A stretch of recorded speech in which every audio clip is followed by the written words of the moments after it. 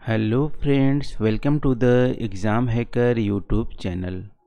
दोस्तों, हम लोग U P P C S दो हज़ार इक्कीस की एक्सपेक्टेड क्वेश्चंस को डिस्कस कर रहे हैं और अभी तक हम लोग ने आठ सेट को ऑलरेडी डिस्कस कर चुके हैं।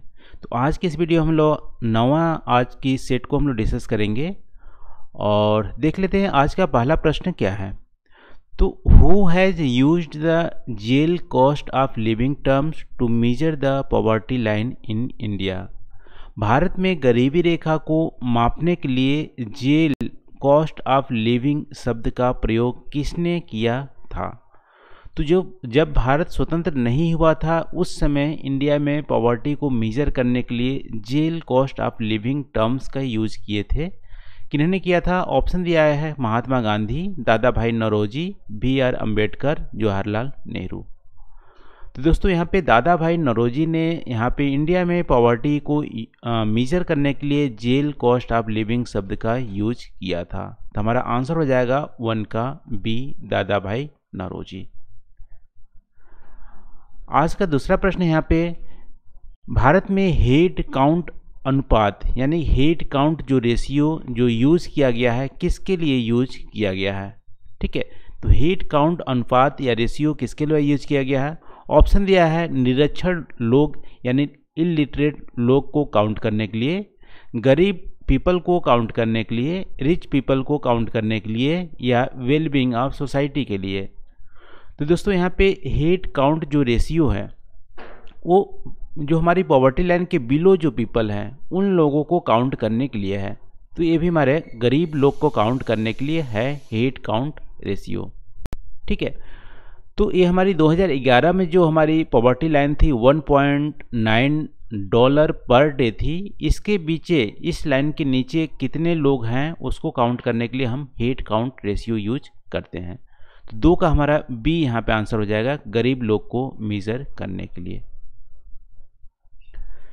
आज का तीसरा प्रश्न है, दोस्तों, निम्नलिखित में से किस राज्य में गरीब जनसंख्या का प्रतिशत सबसे ज़्यादा है? ठीक है largest percentage of poor population किस स्टेट में ज़्यादा है? ऑप्शन दिया गया है बिहार, बी है झारखंड, सी यहाँ पे छत्तीसगढ़, डी उत्तर प्रदेश। ठीक है तो वैसे तो हम लोग डिस्कस किए थे कि पर कैपिटा जो इनकम है, वो सबसे लोवेस्ट है बिहार में। ठीक है अप्रॉक्स फोर्टी थाउज़ेंड के रुपीज़ के अराउंड लेकिन जो largest percentage of poor population है वो हमारा छत्तीसगढ़ में है। छत्तीसगढ़ में सबसे ज़्यादा पुअर पॉपुलेशन है लगभग में 40 परसेंट जो पॉपुलेशन है वहाँ पे बिलो पॉवर्टी लाइन है। ठीक है? और पूरे इंडिया की बात करें तो इंडिया में हमारी लगभग में 28 परसेंट के आसपास हमारी आ, आ, 2019 में जो मेजर किया गया था उसमें 28 परसेंट जो पॉपुलेशन है वो हमारी पुअर हैं। और यूपी की बात करें तो यूपी 29.43 परसेंट के आसपास यूपी की पॉपुलेशन पुअर है। झारखंड की बात करें, झारखंड हमारा 36 परसेंट झारखंड की पॉपुलेशन हमारा पुअर में आती है। ठीक है? तो यहाँ पे आंसर हमारा हो जाएगा सी छत्तीसगढ़। छत्तीसगढ़ में 40 परसेंट के आसपास पॉपुलेशन हमारी बिलो पॉवर्टी लाइन में आती है। तीन का सी चौथा यहाँ पे रामकृष्ण मिशन के संस्थापक कौन थे? ठीक है रामकृष्ण मिशन एक तरह से आप बोल सकते हो कि इंडियन कल्चर या स्पिरिचुअल ऑर्गेनाइजेशन है जिसमें वेदांता अद्वैता की फिलॉसफी को यहाँ पे आ, आ, टीच किया जाता है और इसमें फोर जो यौगिक हैं ज्ञान भक्ति कर्मा और हमारा राजा ये हमारे फोर योगी को यहाँ पे टीच किया जाता है। ये स्वामी विवेकानंद द्वारा यहाँ पे फाउंड किया गया था ठीक है बंगाल में।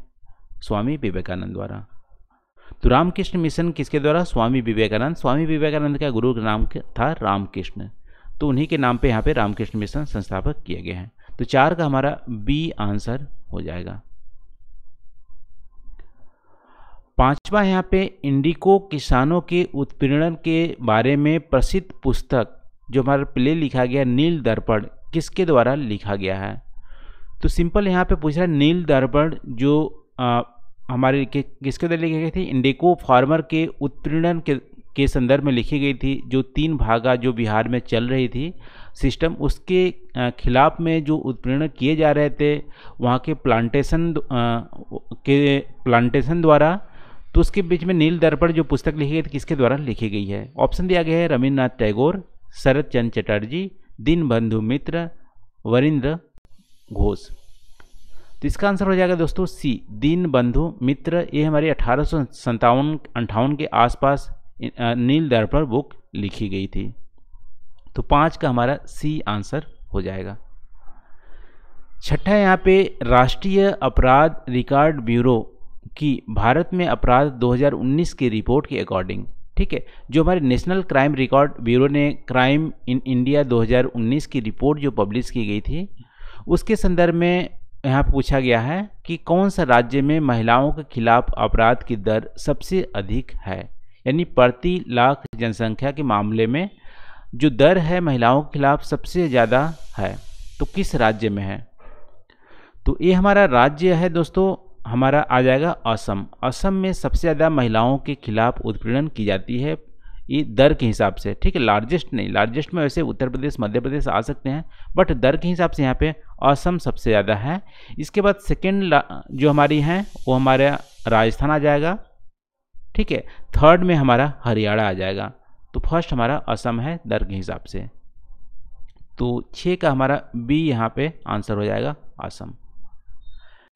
सातवां यहाँ पे जो हमारी consider the following statement about the aspirational district programme जो आकांक्षी जिला कार्यक्रम है, उसके संदर्भ में स्टेटमेंट दिए गए हैं, और आपको बताना है कौन सा स्टेटमेंट सत्य है एस्पिरेशनल डिस्ट्रिक्ट प्रोग्राम के तहत।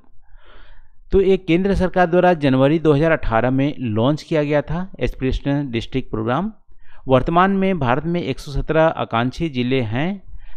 कार्यक्रम तीन तीन यहाँ पे the programme is based on the three C S ठीक है थ्री सी के अप्रोच से बेस्ड है कन्वर्जेंस कोलेब्रेशन एंड कंपटीशन तो दोस्तों, तीनों ही स्टेटमेंट यहाँ पे सही है, जो एस्पिरेशनल डिस्ट्रिक्ट प्रोग्राम चलाए गए थे, वो केंद्र सरकार द्वारा 2018 में लॉन्च किया गया था, उसमें 117 ज़िले शामिल हैं और थ्री सी अप्रोच पे यहाँ पे काम करती है। यहाँ पे जो स्टेट और सेंट्रल गवर्नमेंट जो स्कीम है, उसकी कन्वर्जेंस करती है कोलोबरेट करती है और कंपटीशन एमोंग द 117 जो डिस्ट्रिक्ट है, उसी में कंपटीशन करके रिपोर्ट भी पब्लिश करती है। तो थ्री सी अप्रोच पे ये आधारित है तो इसका आंसर हो जाएगा D one two and three आज का आठवां प्रश्न है दोस्तों, यहाँ पे एंथुरियम ठीक है एंथुरियम पौधा हाल में समाचार में देखा गया है, यह क्या है? ठीक है एंथोरियम पौधा क्या है? ये ऑप्शन दिया गया विदेशी पौधों जो आसपास के बड़े पैमाने पर जैव विविधता का नाश करते हैं बायोडाइवर्सिटी का डिस्ट्रक्शन करते हैं, क्या एंथोरियम प्लांट देखो, इसका सिंपल आंसर हो जाएगा एंथोरियम जो प्लांट है, एक तरह से फ्लोरिंग प्लांट है, ठीक है? ये फूल वाली प्लांट है, ये क्या करते हैं, हमारा जो सराउंडिंग जो हवा है, उसको प्योरीफाई करते हैं।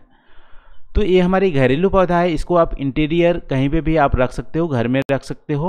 ये घरेलू पौधा है जो आसपास की हवा को शुद्ध करने और हानिकारक हवाओं को रसायनों से हटाने से मदद करता है।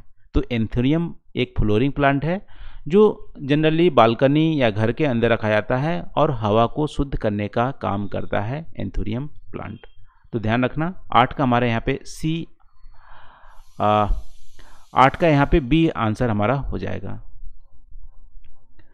नवा है, दूसरा सबसे बड़ा रोज़गार जनरेटर स्रोत है इंडिया में, ठीक है? यहाँ पे ऑप्शन दिया गया है एग्रीकल्चर सेक्टर इंडस्ट्री सेक्टर और सर्विस सेक्टर कौन सबसे ज़्यादा यहाँ पे, दूसरा सबसे बड़ा जो एम्प्लॉयमेंट जनरेट करता है? तो सबसे ज़्यादा एम्प्लॉयमेंट जो जनरेट होती है वो हमारे कृषि सेक्टर से होती है फ़र्स्ट हमारा जाएगा। दूसरा में हमारी सेवा सेक्टर सर्विस सेक्टर आएँगे, दूसरे में, तीसरे में हमारी मैन्युफैक्चरिंग सेक्टर आएँगे। तो इसका आंसर हमारा नौ का सी हो जाएगा। सर्विस सेक्टर दूसरा हमारा हाईएस्ट जो एम्प्लॉयमेंट जनरेटर है। ठीक है। आज का लास्ट हमारा प्रश्न है, दस, संघ सरकार की उच्चतम आय स्रोत क्या है? जो हमारी यूनियन गवर्नमेंट है, सेंट्रल गवर्नमेंट है, सबसे ज़्यादा पैसे कहाँ से आती है, किस टैक्स से आती है? क्या जीएसटी से, कॉरपोरेट टैक्स से, इनकम टैक्स से, एक्साइज से, किससे आती है? तो दोस्तों जीएसटी से सबसे ज़्यादा पैसे आते हैं, फिर हमारा इनकम टैक्स से आती है, फिर हमारा कॉरपोरेट टैक्स से आती है, फिर हमारा एक्साइज ड्यूटी से आती है। तो इसका आंसर हमारा सिंपली ए हो जाएगा जीएसटी तो ये रहा दोस्तों, आज के 10 प्रश्न जो हम लोग आज, हम लोग नवा सेट को डिस्कस किए हैं। तो आई होप यहाँ पे वीडियो आपको अच्छी लगी होगी। तो आज के लिए बस इतना ही। थैंक यू फॉर वॉचिंग मिलते हैं अगले वीडियो में नए टॉपिक साथ। Thank you